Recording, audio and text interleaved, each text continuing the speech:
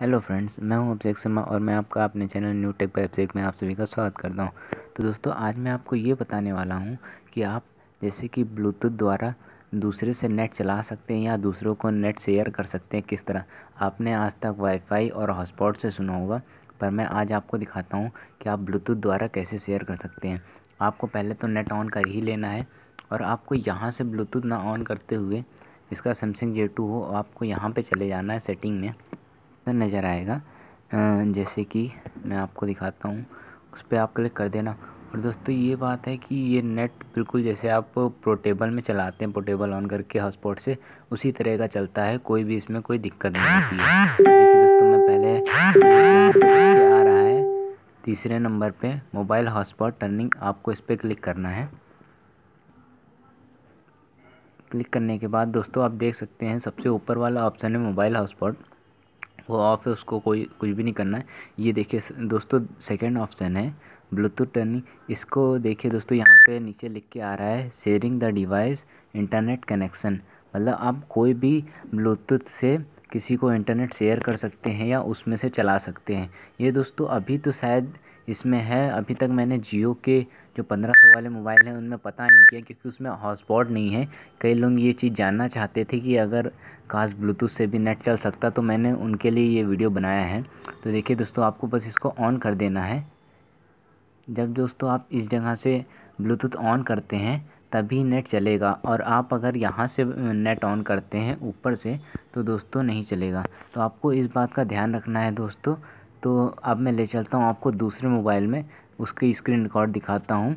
वो ये दोस्तों है सैमसंग जे टू और वो है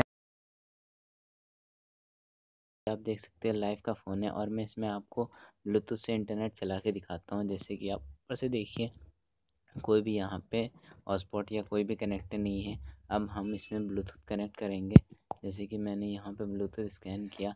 और जैसे कि आप देख सकते हैं सेकंड नंबर पे आ रहा है सैमसंग गलेक्सी जे टू आप इस पर क्लिक करेंगे, मैंने पहले से इसमें कनेक्ट करके रखा हुआ था तो शायद ये कनेक्ट हो गया है।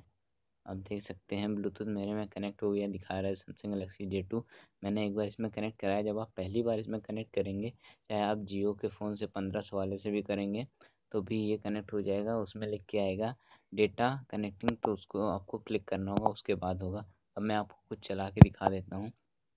जैसे कि कोई ब्राउज़र हो तो मैं उसमें आपको चला के दिखा दे सकता हूँ। एमसेंट ब्राउज़र नाम का एक है, मैं आपको इस पर चला भी हॉटस्पॉट या कुछ भी ऑन नहीं है, केवल ब्लूटूथ ऑन है बस, और ना ही नेट ऑन है। बस मैं इस पर क्लिक करता हूँ, और जो भी मैं जैसे कि कुछ भी एक छोटा सा, वो चीज़ क्लिक करके दिखाऊँगा आपको। जैसे कि मैं अब यहाँ पे कुछ सर्च करता हूँ, या फिर मैं इसी से ब्राउज़र से ही कुछ ले लेता हूँ। जैसे कि मैं यूट्यूब खोलता हूँ। यहाँ पे देखिए, और दोस्तों ये देखिए नेट का कोई भी कनेक्शन नहीं है।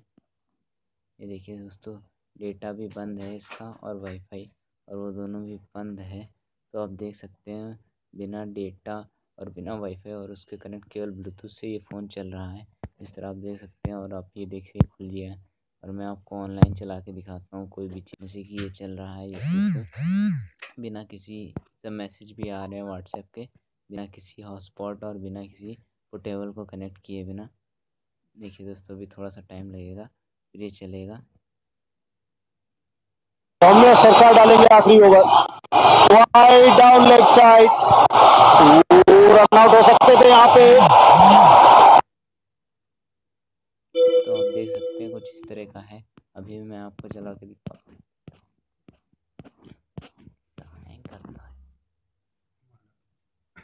तो देख सकते हैं आप यहाँ पे कोई भी डेटा का कनेक्शन नहीं, केवल ब्लूटूथ के ज़रिए ये सब चल रहा है। दोस्तों होप आपको ये वीडियो पसंद आई होगी। तो आप पंद्रह सौ के जियो के फ़ोन से भी इसको चला सकते हैं। तो अगर आपको वीडियो पसंद आई है तो प्लीज़ इसे लाइक करें शेयर करें और वीडियो देखने के लिए आपका बहुत बहुत धन्यवाद।